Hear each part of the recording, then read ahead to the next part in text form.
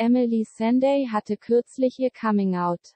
Die Liebe zu einem so wunderbaren Menschen wie Joanna gab mir Kraft und Stärke, erzählt sie nun.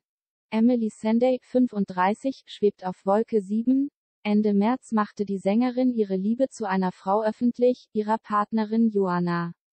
Diese wahre Liebe, wie Sanday sie im Interview mit Spot on News beschreibt, hört man auch auf ihrem neuen Album, im Studio sind die Liebeslieder nur so herausgeflossen, sagt die 35-Jährige über den Longplayer Let's Say For Instance, der am 6. Mai erscheint.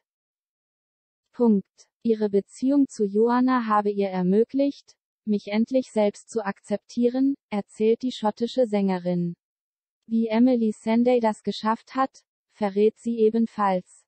Ende März haben sie die Liebe zu ihrer Partnerin Joanna öffentlich gemacht. Wie hat das ihr neues Album beeinflusst? Emily Sanday? Verliebt sein macht das Leben schön. Dieses Album in diesem Zustand zu machen, ist definitiv in die Musik durchgesickert. Wenn man verliebt ist, möchte man es von den Dächern schreien, und im Studio sind die Liebeslieder nur so herausgeflossen.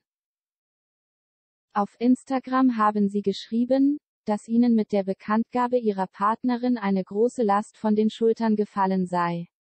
Wie kam es dazu? Hatten sie Angst vor den Reaktionen? Sanday? Selbstakzeptanz ist der erste Schritt.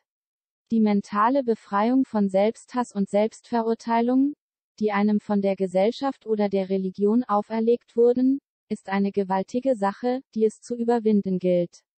Es kann ein Leben lang dauern, bis man sich selbst vollständig akzeptiert. Ich wusste nicht, wie die Menschen reagieren würden.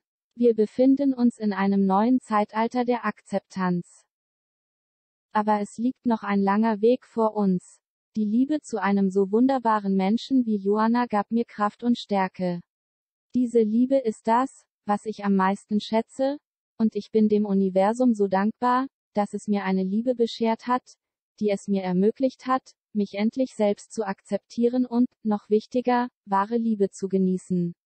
Ich wusste nicht, wie die Reaktionen ausfallen würden, aber ich befand mich an einem Punkt in meinem Leben und in meiner Karriere, an dem zu mir selbst und diesem besonderen Menschen zu stehen, mir mehr als alles andere bedeutet hat.